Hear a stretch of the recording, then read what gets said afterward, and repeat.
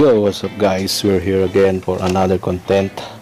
Welcome back to our channel guys. Uh, Kali may online po.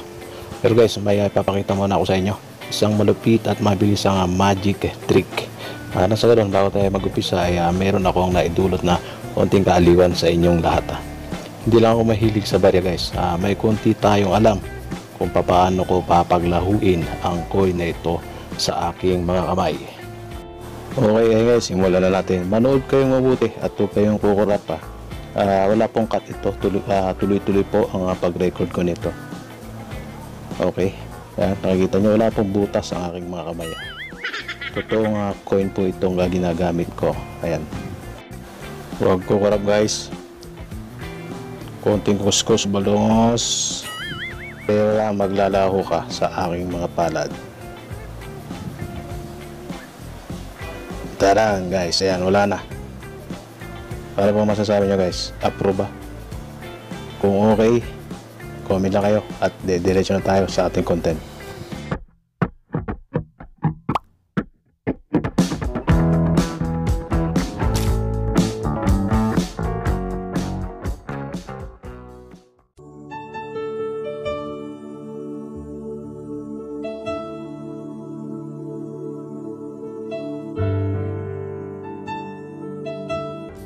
Okay guys, uh, ang problema ko lang kung paano ko pababalikin yung barya na yun. Sayang naman yun, eh 50 euros din yun. Pero okay lang yan. Okay guys, uh, kamusta kayo? Ang ating baryang tampok ngayong araw uh, ng uh, Sabado ay ang 2011 25 centimo. Nag-iisa lang itong uh, coin ko na ito at sa aking kaalaman kahit papaano ay meron na itong uh, presyo sa labas ng ating bansa. Kadalasan po sa eBay ako nagpupunta kapag may coin ako na itatampok sa ating channel para po sa inyo. At guys, kung bago pa lang dito sa ating channel, huwag mo pong kakalimutan mag-subscribe at pindutin ang notification bell para updated ka. At guys, tandaan, iba na ang updated, advance kumbaga.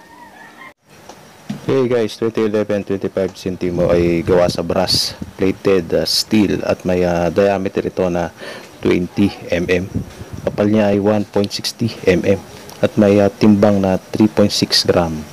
At ang edge type nito ay plain lang. Yan at sa kanyang overs guys yan uh, Republika ng Pilipinas. Tapos sa gitna yung kanyang value na 25 centimo at yung katabi ng uh, lettering na centimo yung uh, uh, logo. Ayun makikita nyo maliit lang siya. Tapos sa baba yung year na 2011 ayan. Tapos pag binaliktad natin reverse. Ang lettering Bangko Sentral ng uh, Pilipinas. Tapos year na 1993 sa ibaba. At yung sa gitna yung araw na papasikat at yung uh, tatlong star.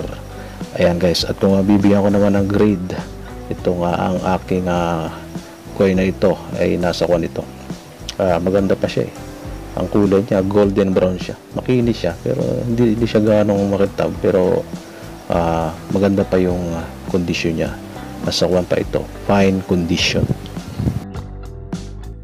Ayan guys. Ngayon naman dumiretso na ako sa ebay para mabilis lang tayo kasi meron pa ako shoutout mamaya. So ayan. Ayan ang kanyang presyo 86.49 25 centimo pare-pareho ng ating barya. Ayan uh, so guys uh, meron ako nakita na sa eBay uh, ang condition is uh, uncirculated nasa kwan uh, 3 dollars ang kanyang value. So ito mas mura ng konti kasi uh, hindi siya uncirculated eh kwan siya parang uh, very good condition lang siya. Kaya medyo mas mababa ng konti. Kaya kung meron kayong ganito guys na magandang kondisyon pwede nyo uh, i-post sa eBay ng uh, uh, 3 dollars. Ayan po yan. Hindi naman masama guys kung uh, uncirculated ang inyong hawak sa uh, 3 dollars. Uh, malaking bagay na po yan. So ayan, uh, didiretso na tayo sa ating uh, mga shoutout. Shoutout po kay uh, Jord, uh, Jordi Trinidad. Boss pa shoutout po sabi niya. Ayan, shoutout sa iyo bro. Kay uh, Merly uh, Pamo, shoutout po map. Then, uh, kay Elmer Inopia, pa shoutout naman Sir El. Sabi niya, ayan bro, shoutout sa iyo at uh, kay uh, Federal Post TV Magazine. Uh, bro, ito shoutout ulit sa inyo. Guys, uh, supportan po ninyo si uh, Federal Post TV Magazine na uh, nakabase po siya ngayon sa Canada. Uh, kaibigan ko po yan. So, ayan, shoutout sa inyo at maraming salamat po sa inyo. Alright guys, ah, until next time po, God bless you all. I'm out.